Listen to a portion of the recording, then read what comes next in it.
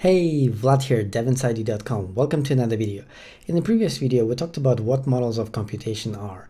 And today we're going to start talking about the environment model of computation. But as we've seen in the previous video, we need to talk about the substitution model first.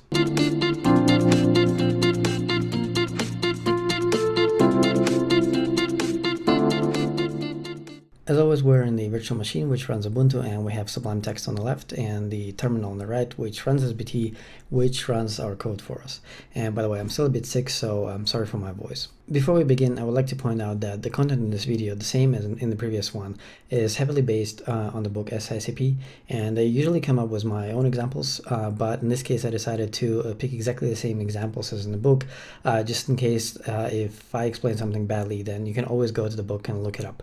Uh, it's a free book and the link is going to be down in the description. Another thing that I'm going to mention here, which is uh, the same thing that I mentioned in the previous video, is that uh, this book is pretty much concerned with uh, writing your own programming languages. And by that mean, I mean uh, writing compilers and writing uh, interpreters for programming languages. And I don't believe that uh, this angle is the best for programming beginners. So I'm going to try to mitigate this issue as much as possible. Let's hope for the best. And by the way, most compilers and interpreters for programming languages are actually built using this environment model of computation. So I highly encourage you to invest some time into into uh, learning about it. I'm 100% sure that it's going to improve the developer inside you. Alright, let's begin. Since uh, most models are based on math, they tend to be very minimalistic. It's usually just a, just a few rules, and this, this point is going to be very crucial uh, in a later video once we're going to start talking about paradigms, so just keep it in the back of your head. The substitution model, for example, can be explained in just one sentence. To apply a compound procedure to its arguments, evaluate the body of the procedure with each formal parameter replaced by the corresponding argument. As we've seen in the previous video, the purpose of this model is to help us reason about procedure application, and we have also seen that it can be implemented with two different orders of evaluation, the applicative order and the normal order. So let's start with the simplest one, the applicative order. And because the environment model happens to be built on top of it, this is also the that is mostly used. So in Scala, uh, we have the substitution model with applicative order and the environment model of computation. This is the example from the book. We have a simple function called square square, uh, which takes an, an integer and produces an integer, and it squares that integer. We also have a function sum of squares. I'm going to write it on, on the top. Um, it's going to make uh, more sense in a few seconds. Sum of squares. It takes an x, takes a y, and it squares them, squares the x, squares the y, sorry, y, and because it's called sum of squares, it actually sums them together. Then we're going to have another function called just f, because we're going to talk about f uh, in this in this example, and uh, in fact in many other examples. Uh, it's just a function called f.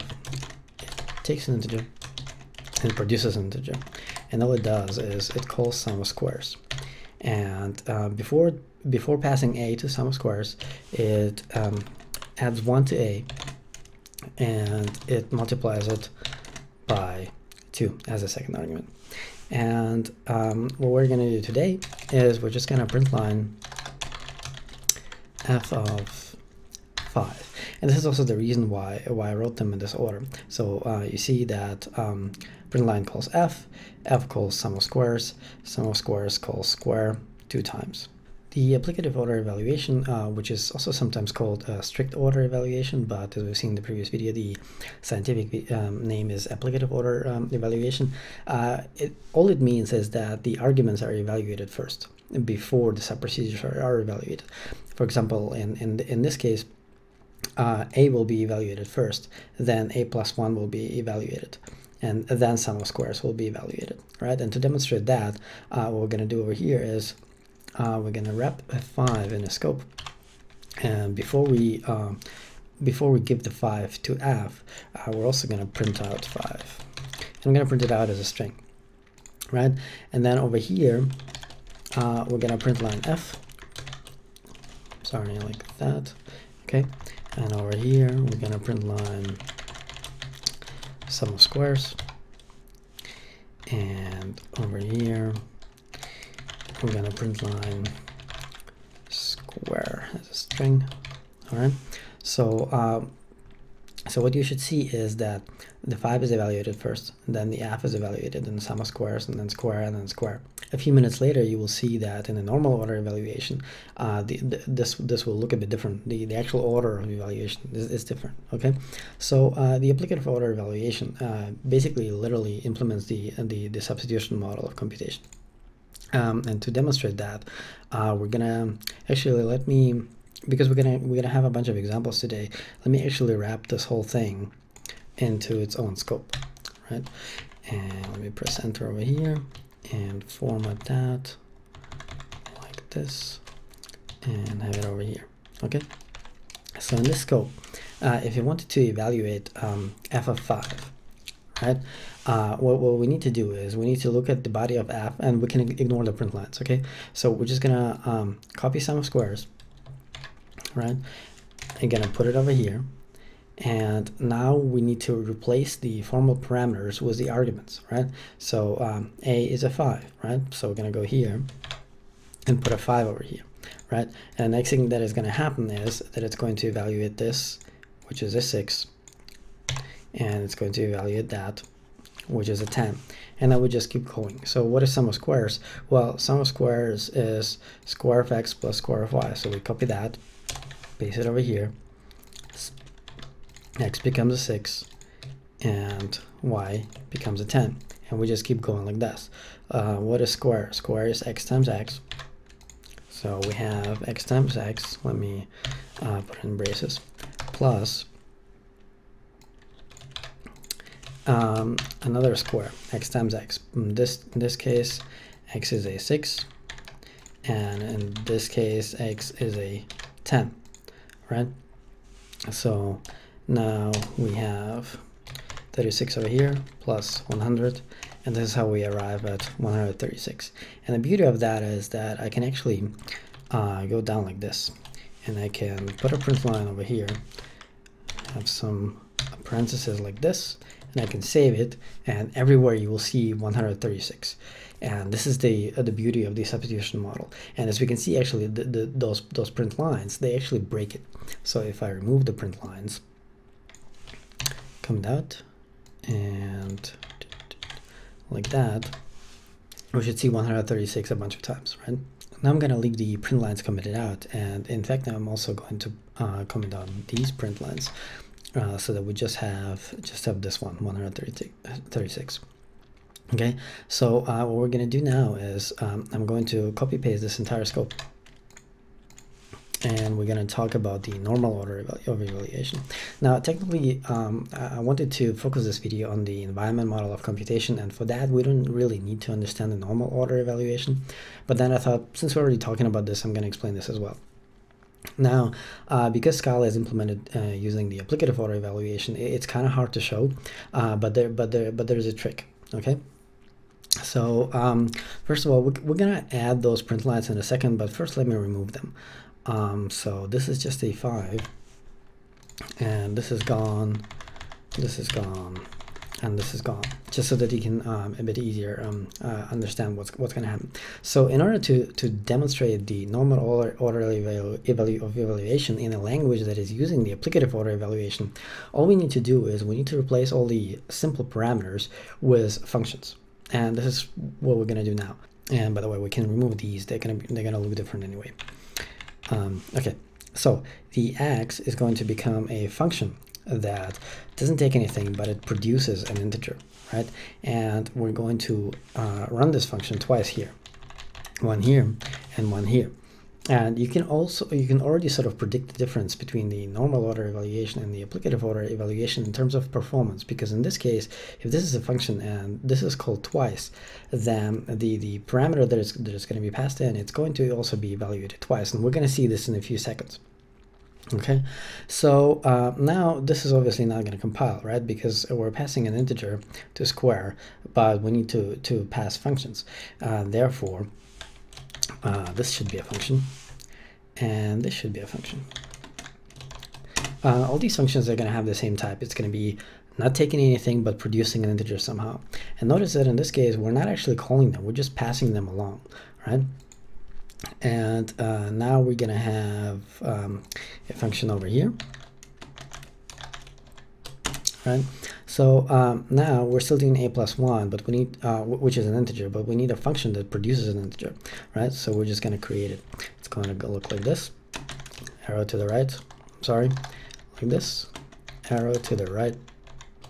Now in this case, we're actually going to uh, call a, because a is a function, right? So we're calling a, it produces the integer, and now we have this whole thing. And over here, we're going to do the same.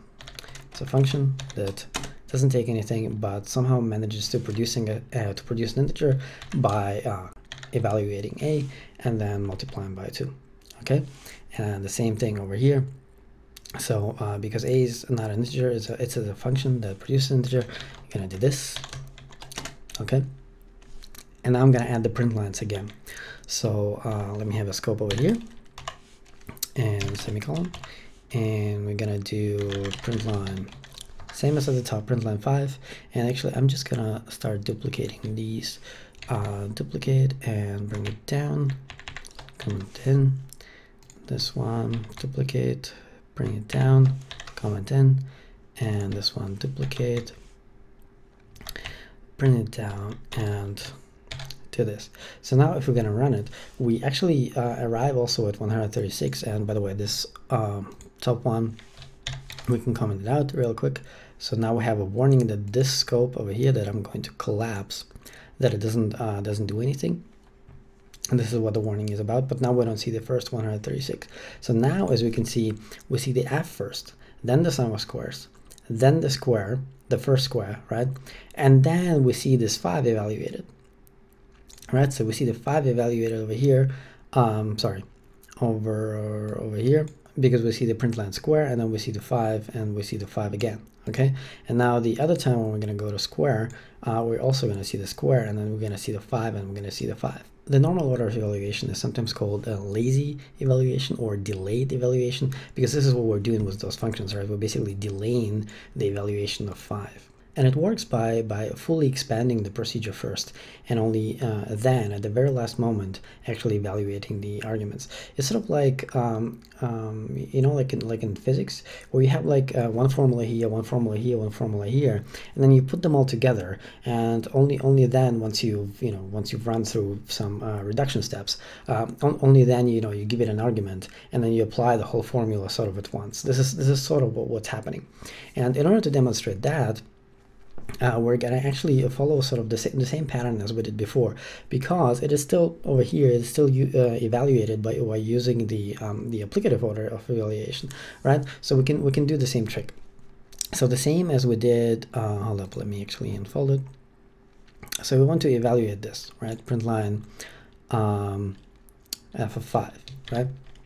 So let me let me do that. Sorry that Oh, you're right. Before that, we didn't have the print line. So we want to see we want to see F5. Okay. So uh, in order to do F5, we need to look at the body of F and we need to copy paste it. So we take this and we paste it over here. And now we're going to do the same trick as, as we did before. Uh, so we're going to look at the A, uh, which is the formal uh, formal parameter, and we need to replace it with the argument. And by the way, uh, it's actually not f5, it's it's this, right? This thing, okay? So A is this thing. So um, let me copy that, okay? Let me mark the A, both both of them, okay? I'm gonna have parentheses uh, around them, right? And now I'm just gonna paste it in over here, okay? So um, this is an anonymous function, right, that take, doesn't take anything, produces a 5. After that, it is applied to, our, to the argument, and we're doing plus, plus 1. And because it doesn't fit anymore, uh, let me actually maximize it, or uh, let me put it to the top and bring this down, um, because I know this from the past, we're going to need 131 hyphens. Let me bring it down. So let me just uh, let me just uh, continue doing this. So sum of squares. What's what's the body of sum of, sum of squares? Well, it's square x plus square y. So let's do this. Right. So what is our x? Well, this whole thing is our x. Let's go in, put it in there.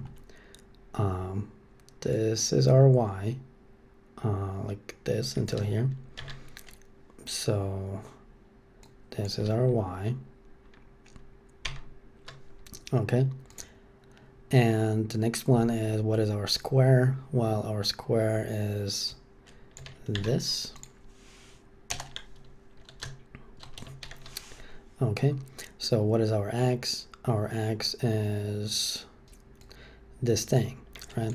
So we have our x. I'm gonna mark the x. I'm gonna surround it with parentheses. I'm gonna paste it in. Now this is only the first square, right? This is this what we just did is only this. So uh, let me surround it with parentheses. Let me have it plus, right? And let me put the square in again, which is this. And in this case, our square, um, I'm sorry, our x is this. So I'm going to surround it with parentheses and I'm going to paste it in. So this this formula is now is now fully expanded. And the cool thing is that um, if I if I remove print lines again, I remove this one, this one, this one, and this whole thing over here, right?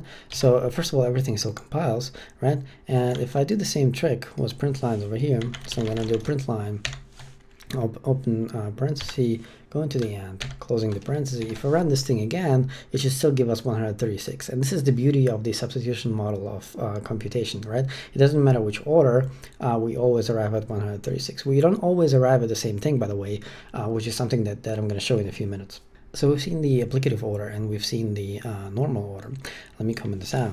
And because, uh, so Scala uses the applicative order as we've already seen, uh, but because Scala is such a wonderful language, it actually has a very beautiful syntax for uh, mi mimicking the normal order.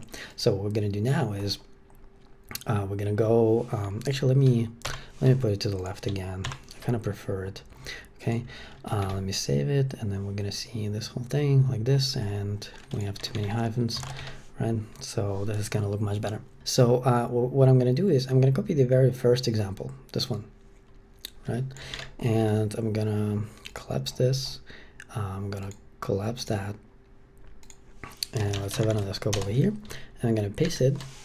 And we can we can uh, enable those print lines. Actually, it's uh, not a big deal. So what I'm to show you now is that if we just add in very specific places and um, hold up over here over here and over here and over here right? So if we just add an arrow over here then Scala will switch basically uh, to the normal order evaluation right? So um, you should see the print lines exactly the same way as you have seen them with um, was uh, manual normal order evaluation, but the syntax, it almost looks example, exactly the same as uh, for the regular applicative order. So um, let me actually, let let's do this. Let's have a uh, print line this hyphen times, uh, let's do under 50, and let's go in here and actually enable uh, these print lines. Whoops this one, this one, this one, and this one. Right? So again, manual normal normal order evaluation, uh, where we have those uh, uh, lambdas flying around everywhere, and we have applicative order looking uh, syntax with just a few arrows, and it should still look exactly the same. So we have f, f, sum of squares, sum of squares, square, square, 5, 5, 5, 5, square, 5, 5. So it looks exactly the same. Before we continue, let me actually go back uh, real quick because I sort of forgot to, um, to, to, explain this a bit better. So uh, first of all, uh, let me expand this. So uh, let me enable this. So if you if you look closely, this is the the fully expanded um, uh, formula, so to say, right? And if you look closely, you see the five four times, and this is why you also see the five uh, four times in the print line, right? One, two, three, four. So uh, this is the, the, the normal order uh, evaluation works in such a way that it, that it fully expands everything and then uh, the reductions follow. So uh, these these were the expansions, expansions, and over here we're gonna have the reductions. And for the reductions, I'm just gonna copy uh, this whole expression over here, kind of paste it here. So the first thing that it's going to do is it's going to uh, do this these five places, it's going to uh, reduce them to a 5. And then uh, it's going to take uh, these two, it's going to reduce them to a 6, and it's going to take these two and reduce them to a 10. Now it's going to, uh, let me see, uh, take these two and reduce them to sixes and it's gonna look at oh yeah I forgot to add the parentheses uh, around this this whole expression. So um, the right part should have had those parentheses okay? Uh, which is which got me confused. So it's to take these two and it's to reduce them to 10 right? And uh, after that it's to do the same as, as before right? So it's to do 136 plus 100 um, sorry just 36 and now it's to have 136 did I do this wrong uh, over there as well? Hold up. No I didn't all right so now we have the applicative order. We have the manual uh, normal order and I probably should comment out these things over here and that okay? And we have also the automatic order. Um, I call it automatic normal order evaluation because uh, we have syntax trigger for that. Okay so let me call up Sublime again like this. Uh, let's save it and uh, maybe also let's remove this print line. We don't we don't actually need it. In fact let me also comment out all of these other uh, print lines. Uh, or, or actually you know what? We're, we're kind of done with this example so I'm just gonna do this. And um, the same here. Gonna do that. Okay. And maybe just to remove the warning should also do that all right and also the warning is gone i'm gonna keep them here uh, just in case though if we if we have to go back and talk about it again as we have seen, uh, the normal order evaluation, it, it evaluates some, um, some expressions uh, more than once. And your um, intuition that um, this is less performant is not entirely incorrect. So um, the thing is that this, this model of evaluation, uh, it really shines with stream processing, uh, which is unfortunately not really adopted in, in, in, the, in the industry. Uh, the, the environment model is. But at least it's kind of nice to know that you can regain a bit of control um, over the evaluation order if, if, if you wanted to, uh, especially in Scala when, when you have such, such a beautiful syntax to do that here are the key points that you need to know about the differences between the normal order and the applicative order. Uh, first of all, the applicative order is sort of more performant by default because the expressions have to be evaluated only once, which is also the reason why most languages uh, go with that. Number two, normal order evaluation is very useful for stream processing, which is another organizational strategy and alternative to the environment model uh, that we learned about in the previous video. Number three, they look as if they always do the same thing, uh, but in fact, they don't always yield the same results, uh, which is something that we're going to see in a few seconds. Number four, in a few minutes, we're to finally learn about the environment model of computation and the only reason we need it. And by the way, if you remember only one thing from this video, please remember this. The only reason why you need the environment model of computation is because our language allows assignment. So it has the assignment operator.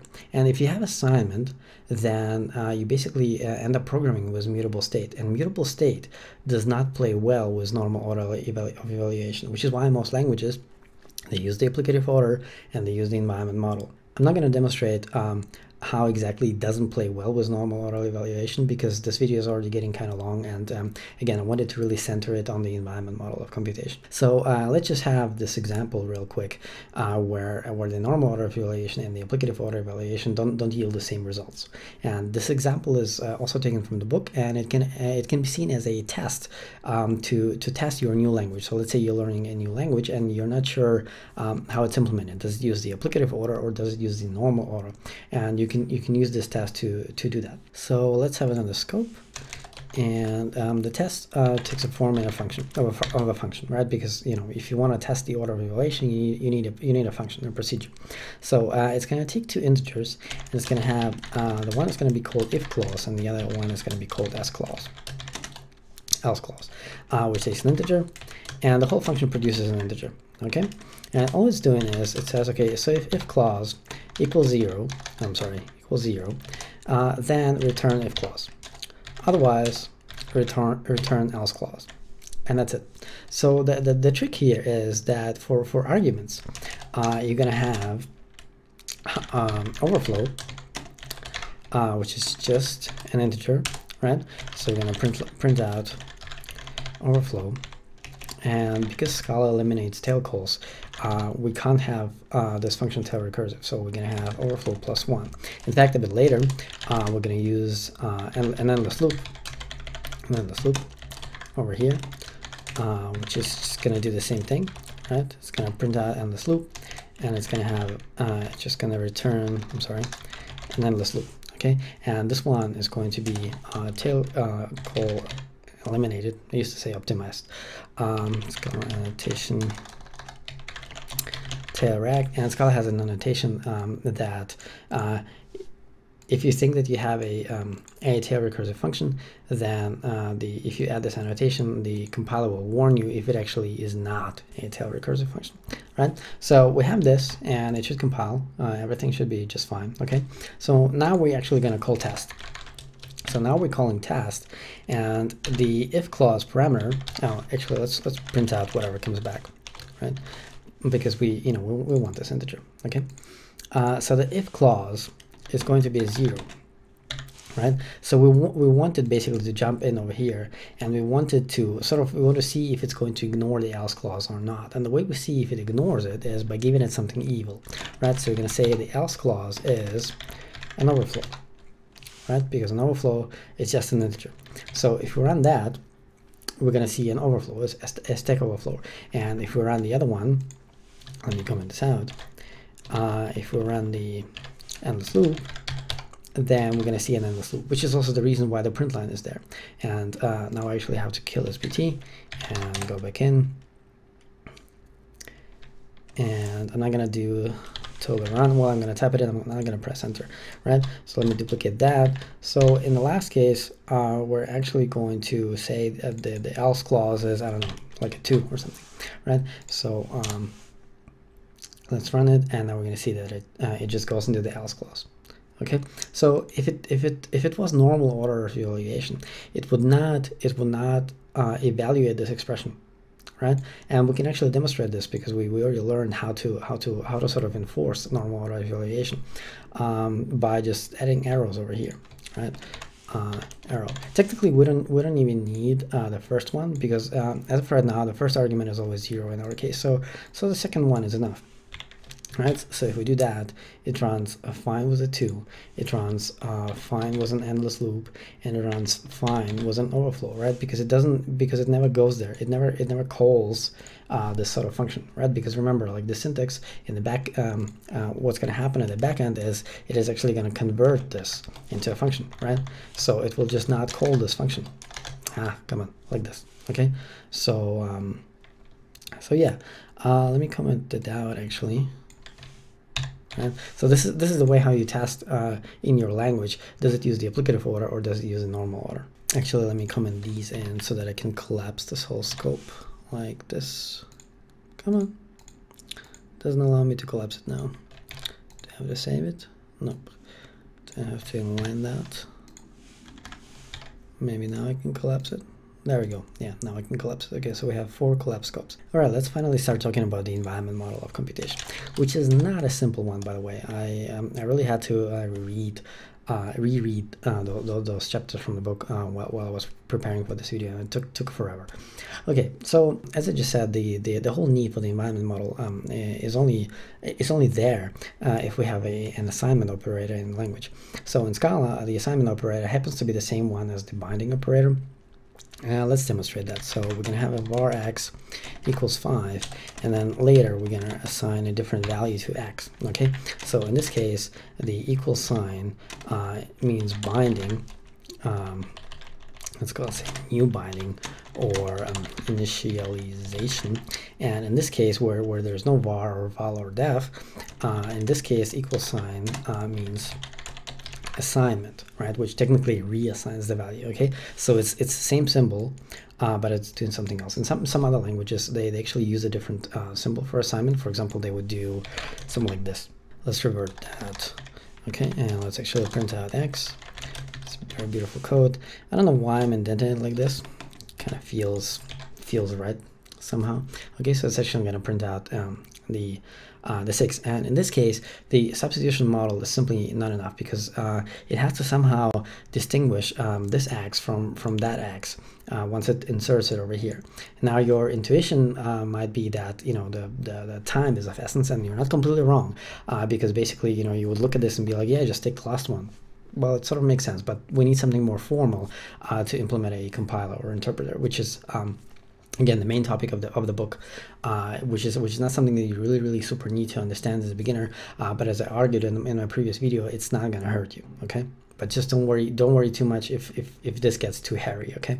So to summarize, this new model of evaluation is required because x uh, cannot be merely considered as a name for a value. It is something else. It, it is. It also needs uh, some sort of like a place where you can where you can store values, and uh, this place, um, which, which is going to be called environment in this model of computation. So uh, we're just going to do uh, what we're going to do now is we're going to we're going to take square one of those squares. Uh, where is it? It's over here. just going to copy that and we're gonna paste it over here. We don't we don't need this thing. in fact, let me let me just leave it here. Let's have another scope. Let's collapse this one. Uh, let's put our square in there, uh, which is indented weirdly. Okay. So technically, there's no there's no assignment over here in in, in Square. Um, uh, but we're just gonna we're just gonna use it as an example first. Now, when the compiler looks at Square, uh, what it, what it's actually doing behind the scenes, it it it is doing that. It actually adds adds a binding for Square. So it says Square is of type int to int. I'm sorry, int, and it equals x arrow to the right x time x. So um, you can always refer to, to this body by, by the name of square. And this is just a shorter, shorter version of this. Um, val square int int equals, and over here, uh, we're going to define a lambda, and in the end, we're going to return this lambda. And this lambda is going to have the same type, because it is the same lambda, right? So we're going to have x, x, time x, right? So it doesn't matter which one I take. Uh, let's take the last one, for example, right? So uh, I can do print line square of 5, for example, right? It's just going to do 5 times 5 is, is 25. Uh, let's take this one now. Uh, this one, same thing. And now let's take this one. Also same thing. Okay, and let's go back to the big one now. There we go. We're actually going to see in a few minutes that this is not just a simple lambda, that it's actually a closure that we discussed in, in this video over there. So in the environment model of evaluation, a procedure is always a pair, which, which consists of uh, some code and, and sort of like an invisible pointer to an outside environment. And in Scala, uh, you sort of already have this uh, feeling, right, that the environments that they are uh, denoted with, with scopes, right? So environments and scope, they're basically the same thing. So I'm just going to call this um, environment I'm just going to call it E0, right? So when the compiler looks at this procedure, it it it, um, it, it, creates sort of like a table and puts in a, a pair in there. A pair which contains uh, the, the first element contains this this whole code, just just literally the text of this, and it, it remembers the name of the envi environment, which is E0. So um, there, there's always a pointer from from this to to E0. So we basically need to understand two things, how, how environments are created, which I sort of vaguely explain right now, and also later how, um, how procedures are, are applied to arguments. Okay, so um, as, as, I said, they're created by, by creating this tuple. So uh, let me actually let me actually remove that. So I'm just gonna have some, some comments over here.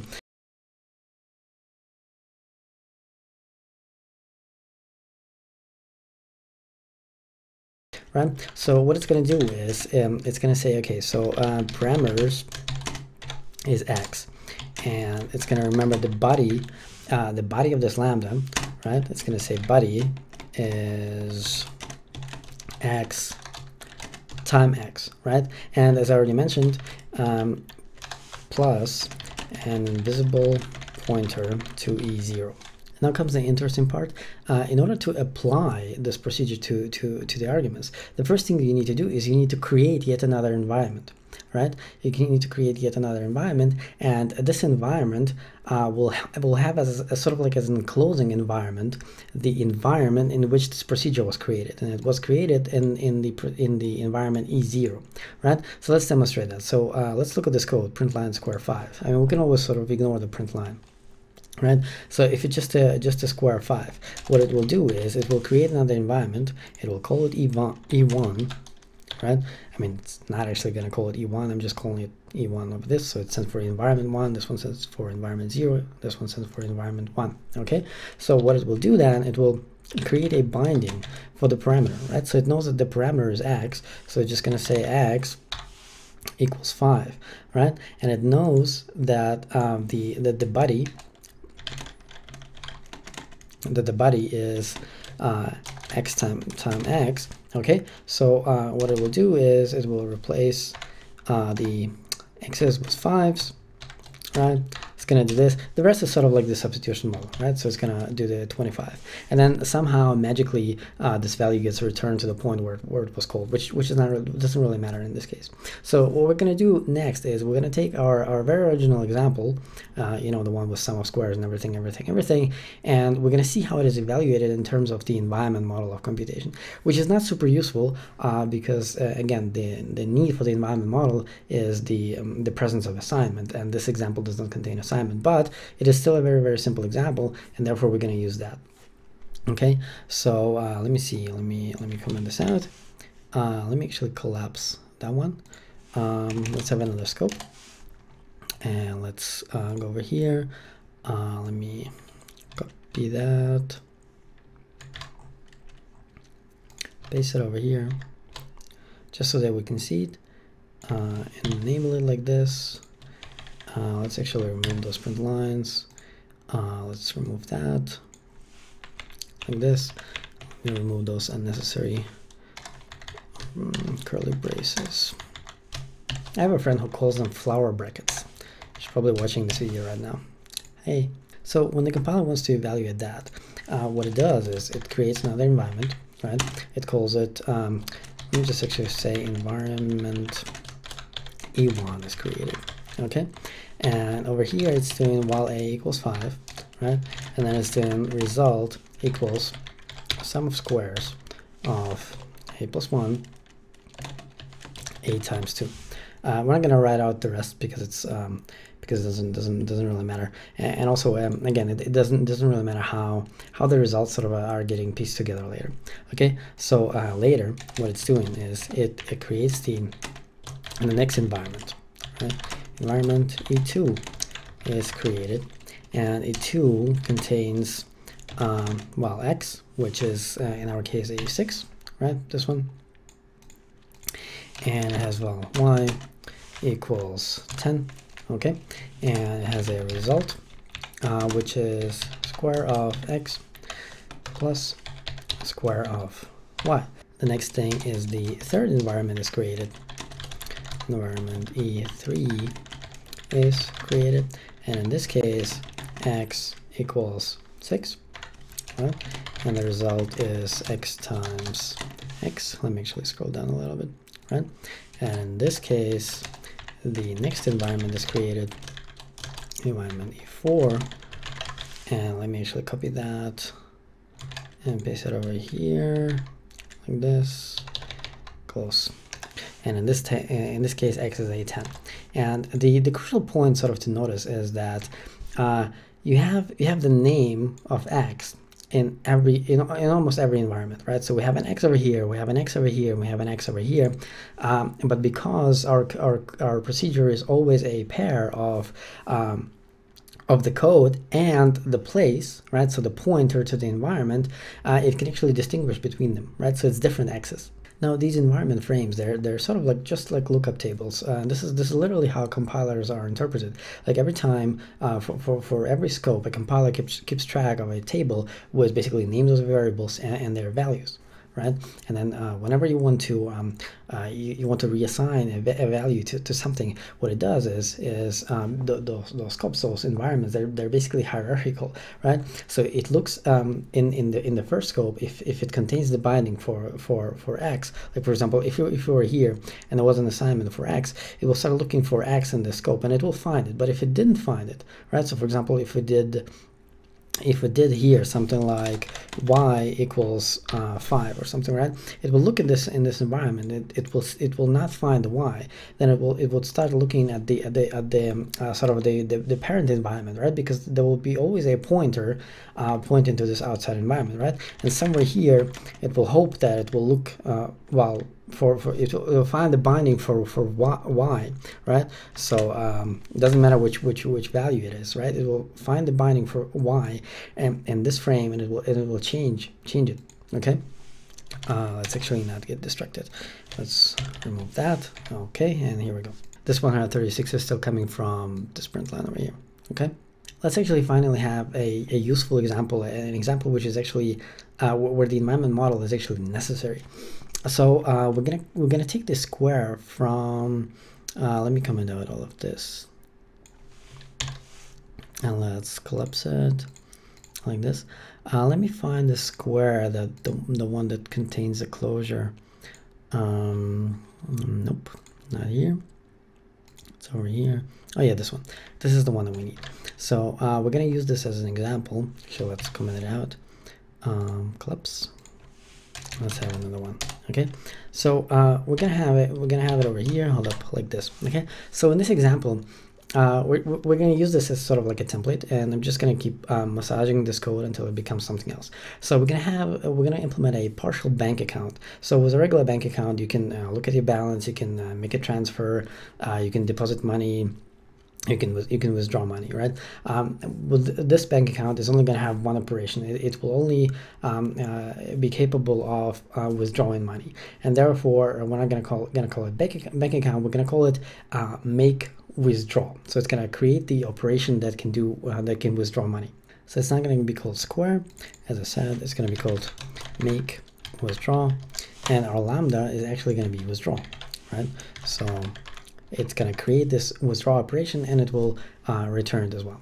The parameter is going to be called amount. And there will be a variable called balance laying over here, right? And the balance is just an integer and it's going to have an initial balance right? Its value is going to be the initial balance, and the initial balance will come as a parameter over here, right? So we're going to have initial balance, initial balance, oh, initial balance, which is an integer. And now because we have a parameter, this has to become a def, okay? And now we have, we have also um, fixed the, the syntax highlighting. Now what withdraw will do, it will check if the current balance is greater or equals uh, whatever the amount we want to withdraw. And if this is the case, then it will assign a different value to balance. It will say balance equals balance minus amount, okay? And um, otherwise, uh, and also it, it has to return the balance, right? It has to return the balance because it has to return this integer, okay? And otherwise, it will just signal an error by doing this error. Um, insufficient insufficient funds okay? And I believe in this case we're actually done. So let's see if it compiles. Yes it compiles okay? So now uh, over here we're gonna actually create a, a withdraw we're gonna withdraw we're gonna call it withdraw one because in a few minutes we're gonna have a withdraw two okay? So we're gonna do make withdraw and the initial balance balance is a hundred. So what we're gonna do now is uh, we're gonna print out um, withdraw of 10 right? Which is gonna do behind the scenes 100 minus 10 and equals 90 um, which is a uh, very high-tech math okay? And then it's going to also withdraw 15 right and because the the state is being remembered it's being capped uh, it's being captured in, in, in balance over here uh, it will start doing with 90 right so it's going to do 90 I'm sorry 90 minus 15 equals equals 75 let's see now you actually see the environment model of computation um, in, in action. At some point over here, uh, for, for, example over here, right? At some point it's going to say balance equals 100 minus 10. Actually, let me do let me do 100 over here like this, right? So what it will do is it will say, okay, so this is an assignment, right? And therefore it's going to start looking for balance in this scope and in this environment and it's not going to find it right but because this was defined in this environment it's going to keep looking further and it's going to locate this right so it's going to find the binding the initial binding for balance and it will just change it right this is this is literally how the environment model of computation works and this is uh, literally why it is required so what we're going to do now is we're actually going to have a second withdraw, and then we're going to demonstrate how the substitution model is being broken by this single tiny assignment operator. So uh, let me just duplicate this code, and we're going to have a withdraw 2, okay? Let's just uh, withdraw 20, for example. So let's print, print line um, withdraw 2, 20, right? So let me actually copy that, put it over here. So it's actually to do this it's actually to do that. So they sort of they sort of live um, in, independently uh, from each other. Oh, that really scared me. I just I just left this code over here. Can't do that. All right. So we have this, and actually let me have a let me have a line over here right? So we see this this was the first one, and this is the second one. So they live sort of in, in their own uh, universes, right? In their own environments, in their own scopes. And by the way, we've been using scopes since since um, since day one, basically. How cool is that? So the substitution model uh, basically says that uh, whenever whenever you you call a function, you can just uh, replace uh, or you can just rewrite that piece of code with the value that this function produces, right? It also means that you can do it the other way around, right? So for example, um, these two pieces of code are exactly the same, right? But if I take this and I replace that, I rewrite that, I substitute that, the code will not behave the same. So now, instead of this, it's going to do 55, right? Because now uh, withdraw 2 is just a different name for withdraw 1. So uh, what is uh, what, what ends up happening here is that we have a 75. 75. What is wrong? 75 minus 20. Come on. And therefore we have the 55. Also notice, sort of, sort of like as a sidebar, um, the environment model of computation is, is the, the basis, uh, the basis for, uh, for garbage collection right? So um, at some point, uh, for example, over here, where this brace ends, right? It knows that for the environments that have been created here, for this one and again, let me let me actually do this one. So for, for both of these two environments there are no more references right? So there's no no, no pointer anymore. Nothing nothing nothing points to them anymore. And therefore uh, garbage collection can can run at some point later and it will know that it can uh, remove those environments right? So it can free the memory which is good. And uh, not understanding the environment model of computation uh, basically will lead you uh, occasionally to uh, memory leaks right? So um, in Scala, you have garbage collection, you have managed memory, but it does not mean that you cannot have memory leaks. It's very easy to show. All right, we're basically at the end of this video. Uh, let me just say a few a few things. So um, the environment model of computation and the which comes basically because of assignment, it raises a lot of very uh, very difficult questions. Like for example, the, the whole notion of equality is now is now um, is now way more complicated. So before, you know, every time you're creating you're creating a, a val, right? So you, you just basically giving a name to some piece of code. Right now, it's more complicated. It's not just a name; it, it is a pair pair of a name and a pointer to some environment, right? So now, for example, um, what should happen if you compare it to bank accounts? It's a complicated question. There are there are a lot of solutions for this, uh, but it's but it's definitely harder than the substitution model. Just remember that the environment model of computation is not there to make your life harder. It is an organizational strategy for your code, uh, which which basically says, okay, if you have some data and you have some operations that uh, that work on that data, put them into the same place and put them into the same environment. This is what this is what it's for. It's an organizational strategy. Next thing is um, this is a very theoretical topic. I, I, understand it's very theoretical. It's very abstract. It's not so easy to understand. Uh, this is why I base it on a book so that you can always um, look it up in in in a book. As the last two pieces of advice, um, let me leave you with some some guidance. So uh, lately, assignment and mutable state they have been really frowned upon. And my advice for you is not to not to demonize it. So um, uh, assignment comes at a cost, uh, but you just need a few years of experience to to find out how how high really that cost is. Um, in the meantime, uh, please don't obsess over uh, refactoring some function uh, for for hours just to get rid of assignment. Okay, um, it is a tool. It has benefits. Uh, you just need some experience to figure out um, what the cost is. The last point is that uh, the substitution model of computation, um, because you know the mutable state is, is being frowned upon, uh, the, the substitution model of computation, which is much simpler and I, you know, it's, it's, it's, sort of better, but it can do everything, right? It's also being sort of shoved into everyone's uh, uh, throats these days, and um, I, I, honestly don't believe this that this is the way to go. Um, my biggest problem with this is that um, those two models of computation, the substitution and the environment, uh, as we have learned already, they have two very different goals. So one is there to help us to reason about procedure application, and the other one is an organizational strategy. So comparing them, it, it's it's actually kind of silly, right? On the other hand, comparing the environment model with the stream processing model uh, that's fair game. But stream processing is a topic for another video. Alright, enough talking. I know it was a complicated video, but I still hope that you liked it. Uh, subscribe if you're new here, if you want to improve the developer inside you. Cheers.